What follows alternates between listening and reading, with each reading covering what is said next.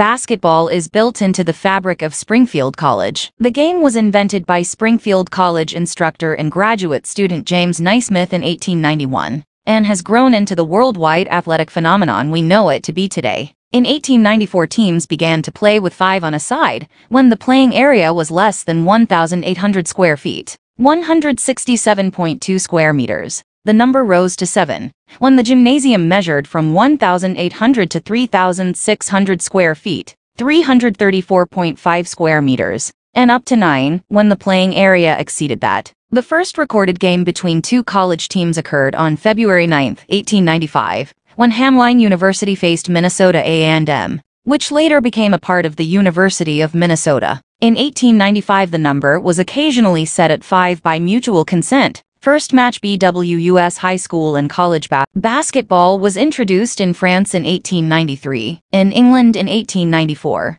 in Australia, China, and India soon thereafter, and in Japan in 1900. The first professional league was founded in 1898. Six teams took part in the National Basketball League, and the first champions were the Trenton Nationals, followed by the New York Wanderers the Bristol Pile Drivers and the Camden Electrics. The league was abandoned in 1904. Then, many small championships were organized, but most of them were not as important as some teams who played for money against challengers. It was the winter of 1891 to 1892. Inside a gymnasium at Springfield College, then known as the International YMCA Training School, located in Springfield, Massachusetts, was a group of restless college students. The young men had to be there. They were required to participate in indoor activities to burn off the energy that had been building up since their football season. The instructor of this class was James Naismith, a 31-year-old graduate student. After graduating from Presbyterian College in Montreal with a theology degree,